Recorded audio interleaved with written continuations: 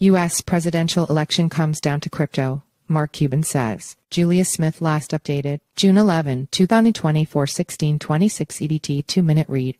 Billionaire Mark Cuban suggested on June 8 that the U.S. 2024 presidential election between Republican frontrunner Donald Trump and current President Joe Biden may boil down to each candidate's stance on crypto. In response to an op-ed piece written by crypto lawyer Preston Byrne, the long-term crypto investor discussed Trump and Biden's respective crypto policies openly. I have said many times that Biden has to choose between Gensler or crypto voters, or it could cost him the White House, Cuban said. Mark Cuban claims crypto is a key issue in 2024 election. Biden, who has often sided with U.S. Securities and Exchange Commission Second Chair Gary Gensler on SWIFT crypto regulation, has shifted his tone in recent weeks amid Trump's vocal promotion of digital assets. Mark Cuban further alleged that neither Biden nor Trump had knowledge of crypto despite previously taking opposing stances on the matter. Do you really think he understands anything about crypto? Beyond saying he made money selling NFTs, Cuban continued, neither of them do. Trump and his wife, Melania, have been big proponents of non-fungible tokens and NFTs, with the former First Lady releasing several digital collectibles through her website. Trump, meanwhile, recently hosted a gala dinner for purchasers of his Mugshot Edition NFTs shortly ahead of his 34-count conviction on fraud charges stemming from a hush money payment sent to former adult film star Stormy Daniels. This was a disgrace, the former U.S. president said of the verdict. This was a rigged trial by a conflicted judge who was corrupt.